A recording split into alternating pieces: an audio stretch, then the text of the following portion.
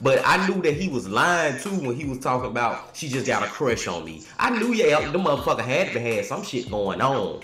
The shit crazy about the damn ring. He gave the damn girl the ring that uh he got from Michelle, the promise ring. That's fucked up. The second part that's fucked up is goddamn the the, the uh the craziness of this man. This man really is insane for real, like off in the head.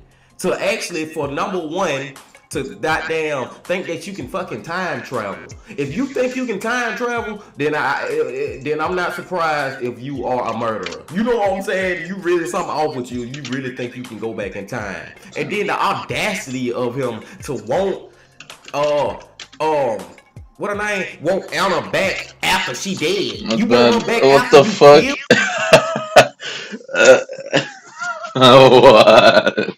Thank you. Thank you.